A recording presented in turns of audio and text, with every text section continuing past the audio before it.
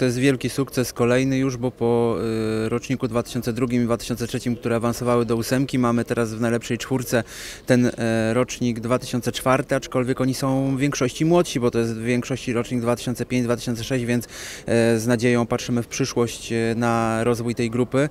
I myślę, że wielki sukces i na pewno duży też wyzwanie organizacyjne, dlatego że mm, obecność takiego turnieju Mistrzostw Polski Juniorów to jest, mam nadzieję, nawiązanie do sukcesów e, z lat poprzednich e, Gwardii. E, Ważne jest też to, że jak patrzyłem na te drużyny, którymi będziemy mierzyć się w finale, no to w zasadzie to jest na kilka bramek różnicy. To są takie mecze bardzo wyrównane, bo Vive wygrało dwoma bramkami z Górnikiem, my wygraliśmy jedną bramką z mm, e, drużyną z e, Płocka, wygrali, przegraliśmy dwoma z Gdańskiem, więc e, niuanse będą decydować o tym, e, jaki będzie wynik sportowy, a e, takie niuanse jak wsparcie kibiców, na które bardzo liczymy i własna hala na pewno może nam w tym pomóc. Do piłki ręcznej trafiłem przez brata. e, Namówił mnie do trenowania, później przez całą podstawówkę trenowałem. I doszło to dalej, a czemu obrotowy? Bo dużo walki, naprawdę dużo walki. Ta siła rzeczywiście przydała się też w tym turnieju półfinałowym. No oczywiście, bardzo dużo walki było, od początku do samego końca. Naprawdę dużo siły trzeba było włożyć, żeby wygrać te dwa mecze. Które momenty w tych meczach były właśnie decydujące? Jesteśmy bardzo zgrani i nigdy się nie poddajemy.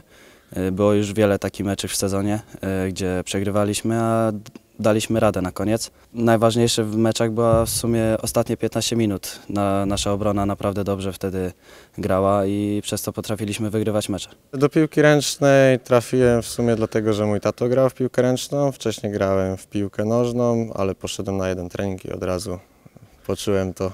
I, no i od, od 6 lat, od 7 właściwie trenuję. To dla Ciebie najważniejsze? Do tej pory osiągnięcie, czy też w tych młodszych rozgrywkach, e, też dziecięco-młodzieżowych, e, już poczułeś ten smak takiej naprawdę wielkiej sportowej rywalizacji? To znaczy, wiadomo, było już parę w życiu meczy jakichś nerwowych yy, i jakichś różnych innych takich sytuacji boiskowych, ale to zdecydowanie na razie największe osiągnięcie moje w, kate- w kategorii jakby juniorskiej. Dwa zdania Twoim zdaniem o, o turnieju, które elementy były kluczowe, no bo trzeba było tak naprawdę do końca walczyć o awans do tego turnieju finałowego. No w sumie jak już pokazaliśmy w poprzednim etapie, że pierwszy, po pierwszym meczu się od razu już nie można e, spuścić głowy.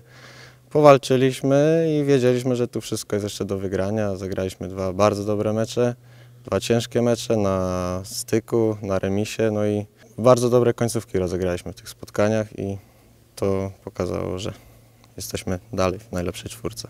Na pewno jest to wydarzenie, które chcemy e, dołożyć wszelkiego pietyzmu do jego organizacji, e, oprócz rozłożenia terafleksu i takich rzeczy, które są na normalnych meczach superligowych, no to e, zależy nam na tym, żeby rzeczywiście pod kątem organizacyjnym wywiązać się możliwie najlepiej z tego zadania, dlatego też apelujemy do wszystkich, którzy chcieliby nas wesprzeć w organizacji tego turnieju, bo nie jest to tania sprawa, aby wspar- wsparli naszą młodzież, bo na pewno będzie to z pożytkiem doczesnym i wiecznym dla naszych sukcesów sportowych. Jak będziecie się przygotowywać do tego turnieju, bo jeszcze trochę czasu zostało? No, najważniejsze będzie zimna głowa, żeby każdą sytuację wy- wykorzystać i żeby w obronie e, naprawdę twardo zagrać, bo no, Kielce, duzi chłopaki, my musimy podołać temu wyzwaniu. No, trenujemy codziennie, e, praktycznie na hali.